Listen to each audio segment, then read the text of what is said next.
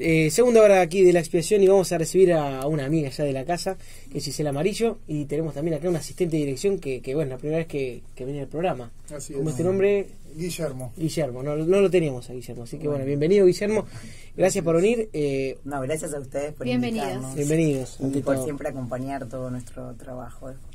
Bueno, estábamos muy contentos de que esta vez podamos, bueno, nos conocimos, porque Sí. era todo, todo virtual, Sí. eh, y la verdad que vimos una obra de teatro el domingo a las 19 horas en Sigue la Polilla, que se llama Déjame tu currículum que te llamamos, ¿no? Y uno, es una, una frase que calculo que en cuatro, estos cuatro años duros que hubo, mucha gente la habrá escuchado, ¿no? Mucha gente eh, le habrá retumbado esta frase en la cabeza, no dejándolos dormir, digo, de todas las edades, ¿no? Pensamos en jóvenes que están insertándose en el mercado laboral y, y personas que eh, realmente lastimosamente se quedaron sin trabajo y están tratando con 40, 50 años volver a ver qué hacen de sus vidas, ¿no?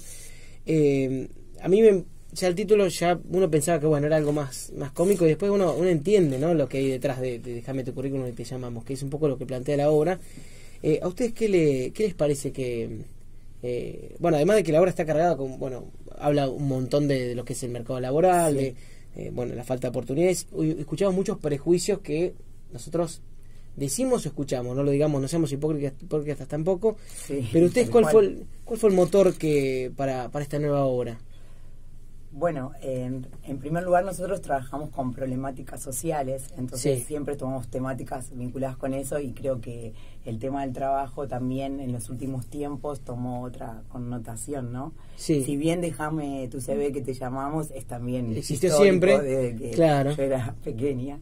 Así que no, eso es algo bueno que, que siempre circuló, pero bueno, creo que ahora toma otra trascendencia. Y sí, un poco nosotros a través del teatro queremos como eh, reflexionar, o sea, sobre los tiempos que corren Mm. y, y pensar con otros, ¿no? Estas temáticas.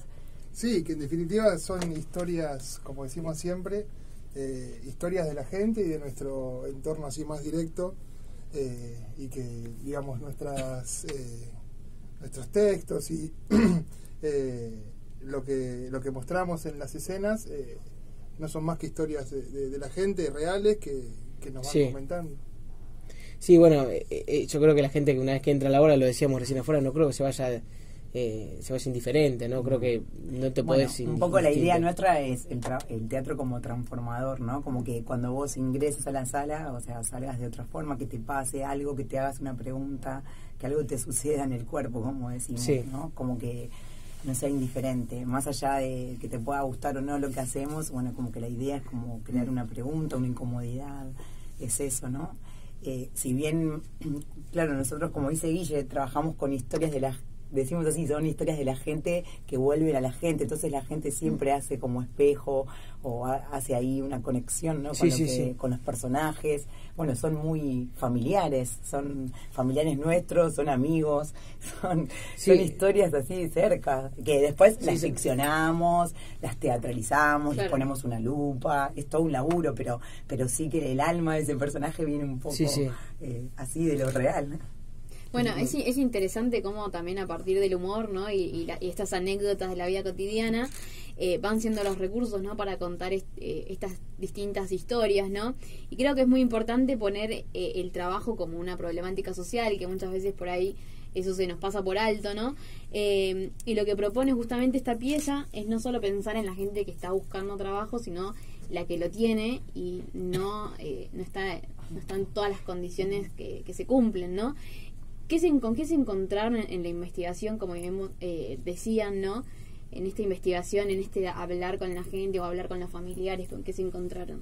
Y a, a mí me parece mucho esto del hombre y máquina, ¿viste? Como Sí. esto de como que vos tenés que que ahí está por ahí sobreactuado, ¿no? Pero como esto de, de sostener el trabajo a cualquier costo y que a veces somos como que nos alienamos en esto de que hay que Sí. trabajar un montón de horas por el dinero, por, eh, y bueno, a veces como sin per- eh, perdiendo como la reflexión a todo tipo de trabajo, ¿no? Que es Mm. parte también de un sistema que nos obliga y a veces como que caemos en esa rueda, es Sí. es la película de Sí. Chaplin, pero bueno, es un poco eso.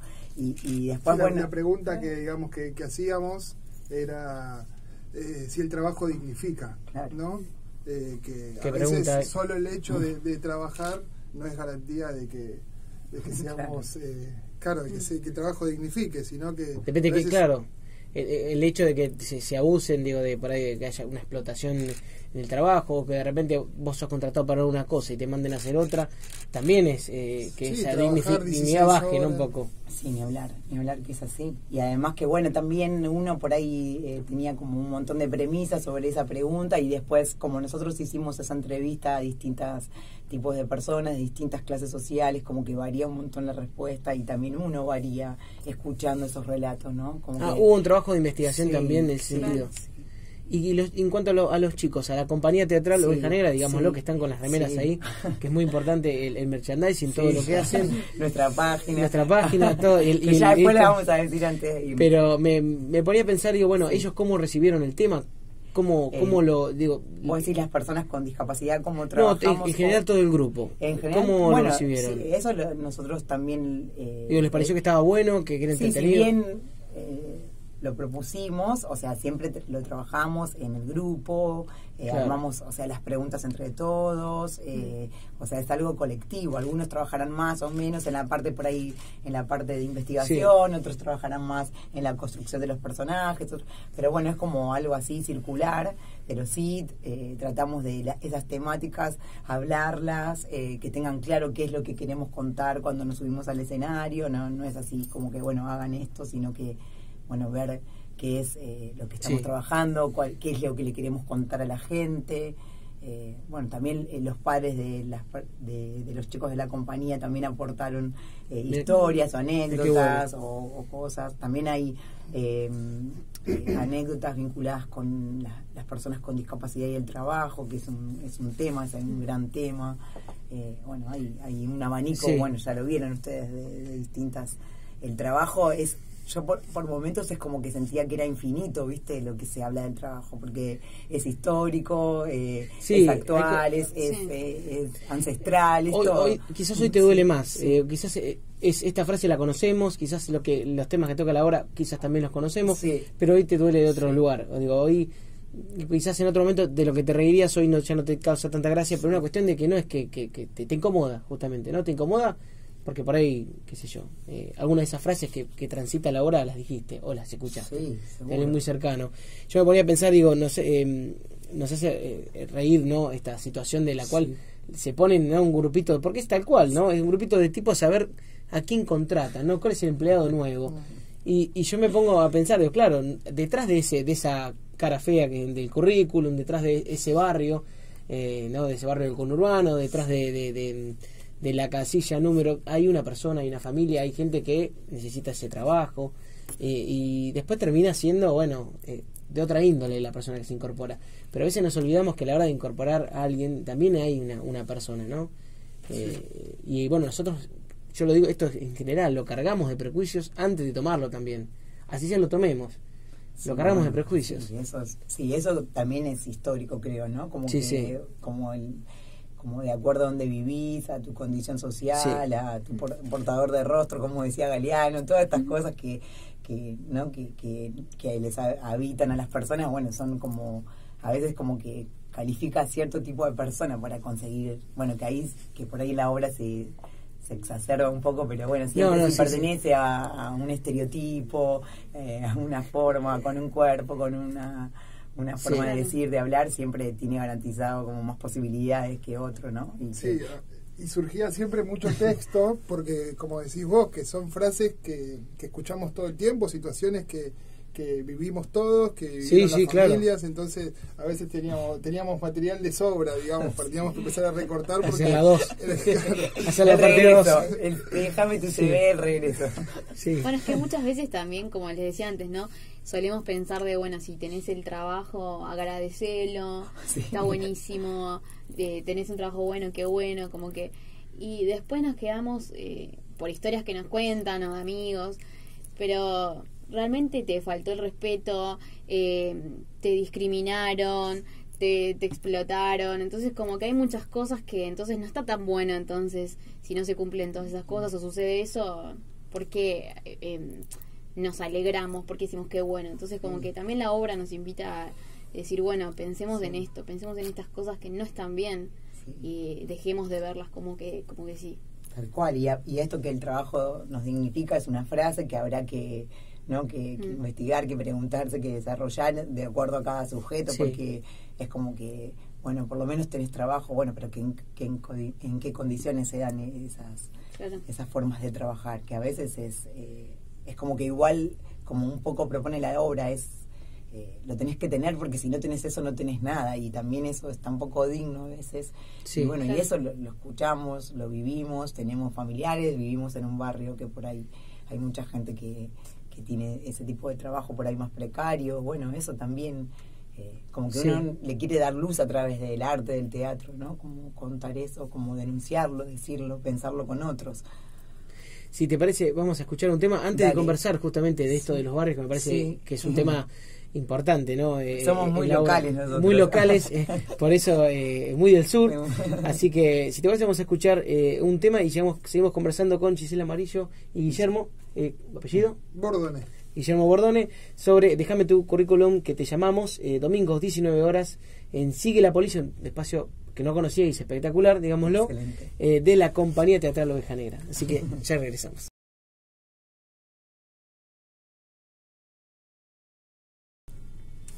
Continuamos aquí al aire de la expiación junto a Gisela Amarillo y Guillermo Bordone de la compañía teatral Oveja Negra, conversando sobre la obra Déjame tu CV, que te llamamos.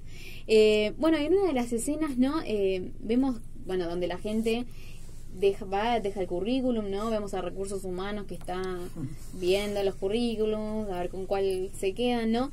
Y todos los comentarios que ellos van diciendo son formas de discriminación, ¿no? Pero no solo vemos, eh, digamos, no se encierra solo al ámbito laboral de cómo ellos discriminan, ¿no? Como recursos humanos dice, ah, vive acá, tiene tal edad, no tiene, tiene tres hijos, sino que me hacía pensar en abstraerme del trabajo y decir, bueno, eso lo escuchamos todos los días, o sea, no solo en el trabajo, o sea, me hacía pensar en eso de miramos a la gente y decir, ah, no, pero está está divorciado, está casado, tiene Es gay, es es- gay, Sí. eh, mirá qué carrera estudia, eh, mirá su aspecto, ah, claro, si vive allá, como todas esas cosas que no solo las vemos en el trabajo, las vemos todos los días. Y creo que, que esta obra no, no, no, no- no- nos haga ver esas cosas me parece buenísimo.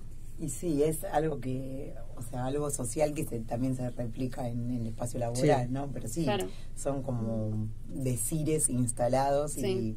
y, y sí, que están, o sea, más allá del trabajo. Y después, Claro. bueno, eso se lleva al trabajo y, y todavía se hace más difícil conseguir con Sí. todos esos prejuicios Claro.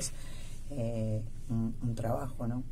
Yo me ponía a pensar también, digo, bueno, todo esto está contado en una clave, vos lo decías recién eh, en, en el corte, de humor negro, de, de, de, de mu- de mucho juego, de, música, de, de todo muy lúdico, todo muy eh, muy llevadero, y de repente, digo, uno se está riendo y de repente llegan frases que, claro, o momentos en los cuales, bueno, decís, che, paras la pelota y te pones a pensar que lo que está diciendo no, no, no, no es para reírte, ¿no? O por lo menos para dejarte pensando. Sí.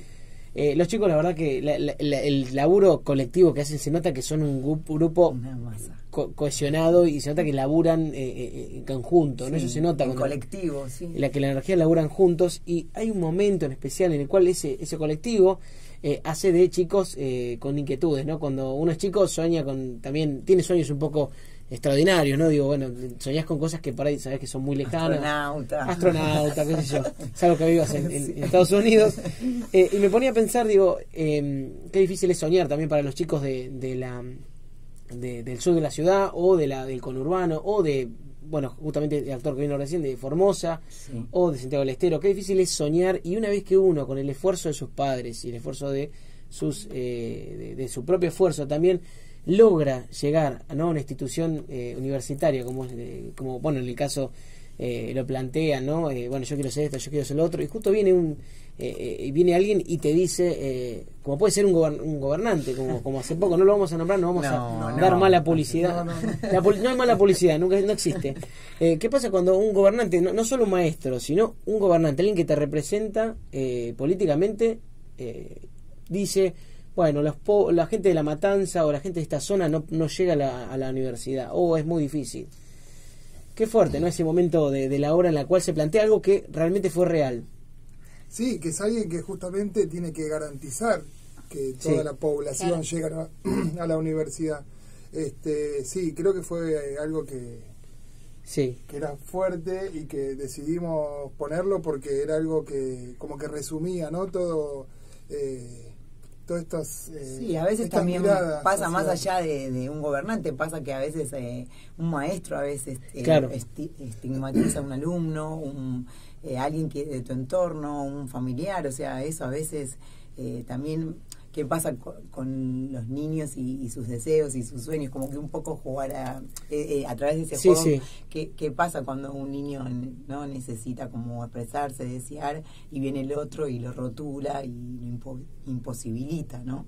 Eh, que, que pasa también no solo en un sueño, sino cuando tiene que aprender o cuando no responde a lo, al grupo en, homogéneo. Sí, cuando no- no Sí, llega- Cuando no llega, cuando no es igual que todos, bueno, estas son... Que le cuesta aprender, que le cuesta- Sí, claro, como que todos tenemos que ser de una forma y si no nadie, está, como que lo deshabilitan, ¿no?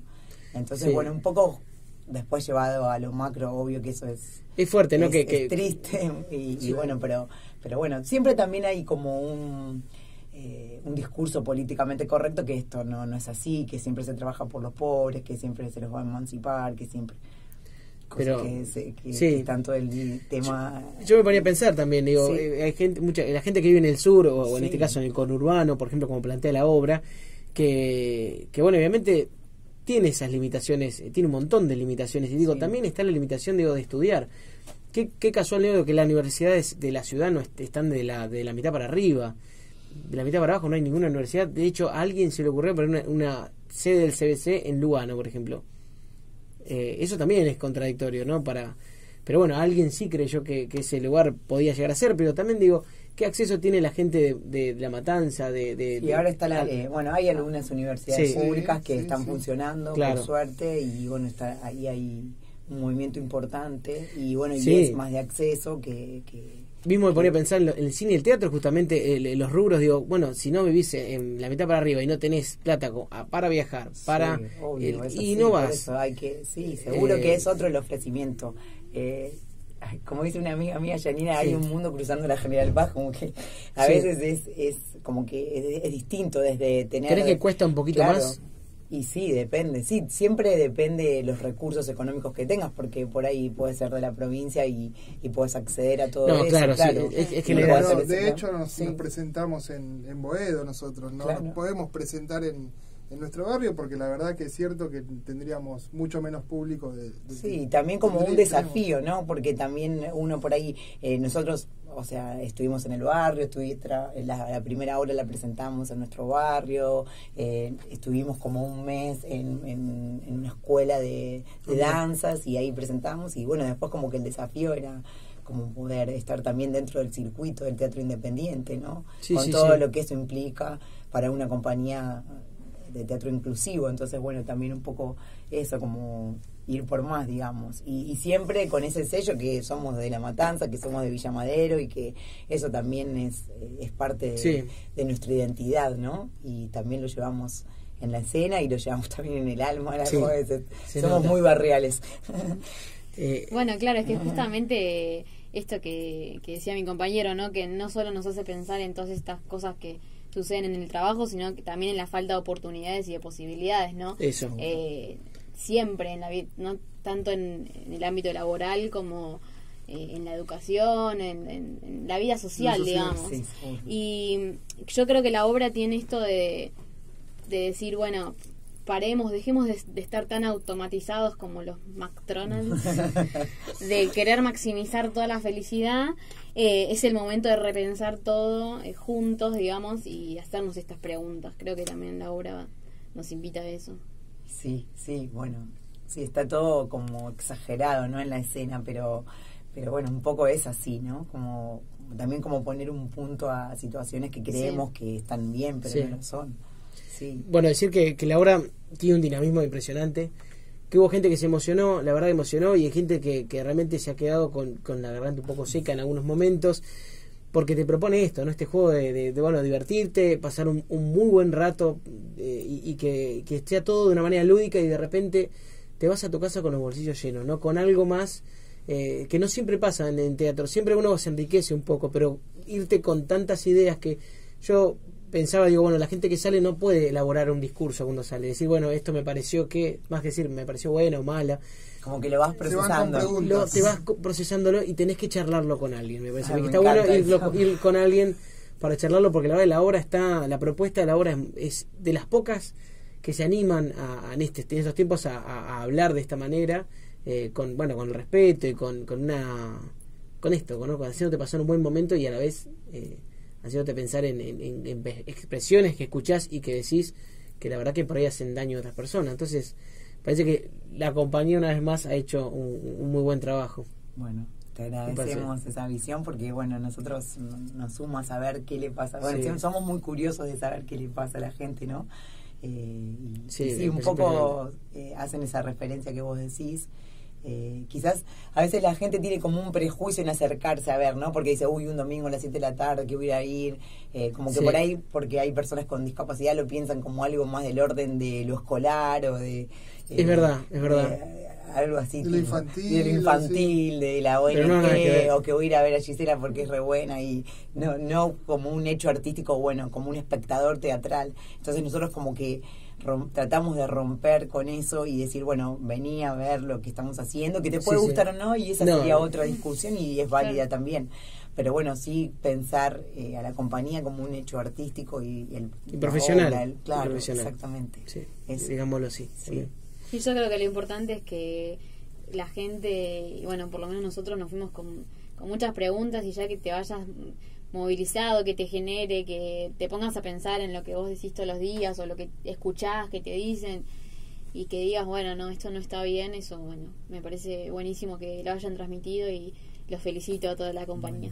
Bueno, gracias en nombre de, De todos. todos Sí. y Sí, todas. de- bueno, eh, también saludar a Sigue la Polilla. Sí, Eh, Ariel. que- Un espacio eh, bellísimo, la verdad que maravillosamente Sí. decorado y muy cálido, no sé por qué, Sí. pero era, se notaba que había una calidez en el lugar especial.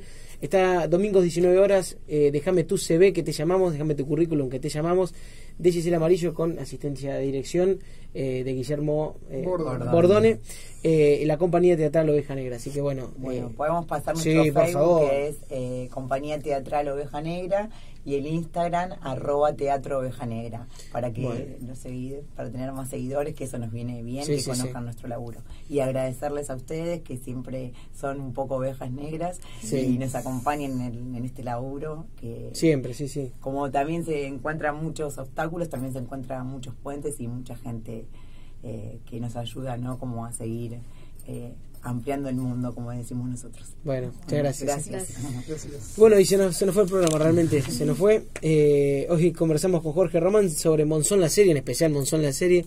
Después algunas cositas salpicadas, pero Monzón tapó todo.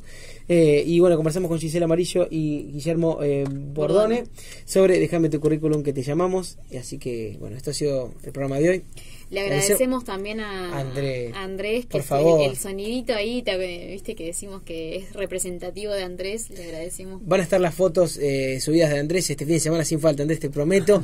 las fotos de, de todos los invitados que hubo este último tiempo. Así que, que pudo regresar Andrés, así que estamos contentos de tenerte. También le agradecemos a eh, Cacho Galeazzi, bueno, nuestro caricaturista, y a Elida, que están del otro lado escuchando. A Cacho que se mejore en especial, eh, que bueno, que lo que esperamos sus dibujos nuevamente, esperamos que, Sí. que, que pronto esté mejor.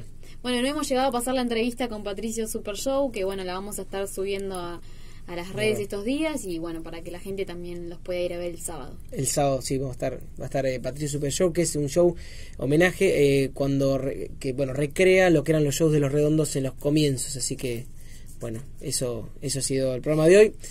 Eh, será este jueves que viene. Hasta el jueves que viene aquí a la